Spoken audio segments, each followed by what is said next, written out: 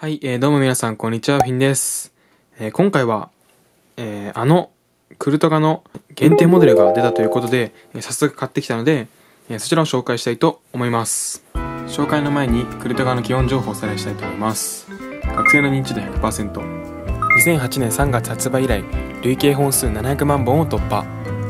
自動新回転機構クルトガエンジンを搭載し、常に細い字を書ける。続いて、ラインアップを紹介したいと思います。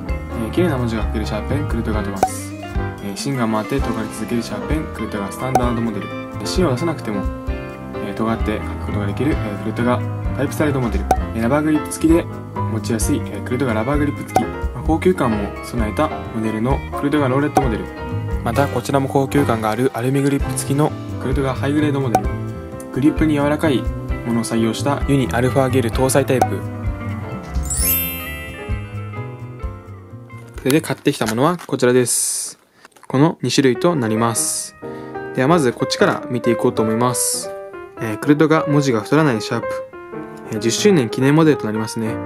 まあ、2008年から、えー、あるということです。で、伝説の金トが復活ということで、えー、結構濃い金ですね。え、かっこいいなと思って、え、買いました。こちらも10周年記念モデルなんですけど、まあ、このローレットモデルから初めての限定色が出たということです。ディープレッドの他にディープブルーというのがありました。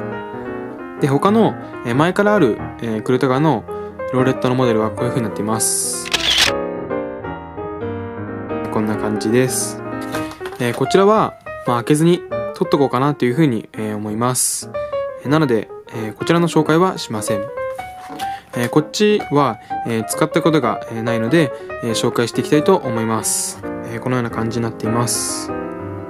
えこちらの、え赤の方はとても濃いものとなりますね。以前紹介したオレンジの、えものと比べると、まだいぶ似てますね。まあ、ほとんど同じと言っても、えいいかもしれません。えこのような感じになっています。ここに赤色のラインが入ってるのもかっこいいですね。で、持ち味としては、そんなにローレットはきつくないですね。そんなに尖ってないというか、まあ、万人にフィットするというか、え、そんな感じですね。で、ペン先も、えー、しっかり見やすいようになっています。それでは試し書きしていきたいと思います。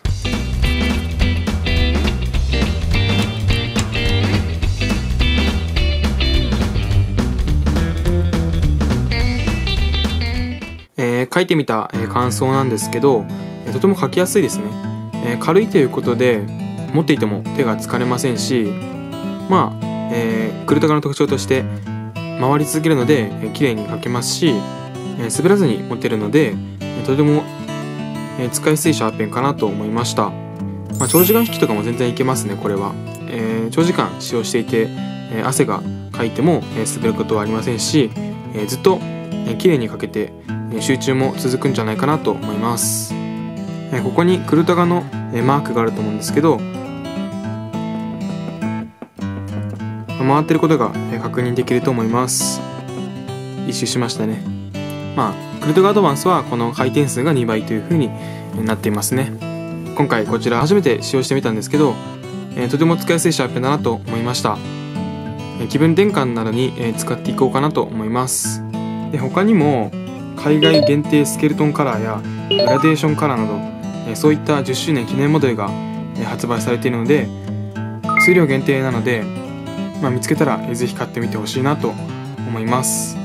3月20日、え火曜日からという風になってるんですけど今撮影日が3月19日なんですけど、えー、ロフトに売ってましたね。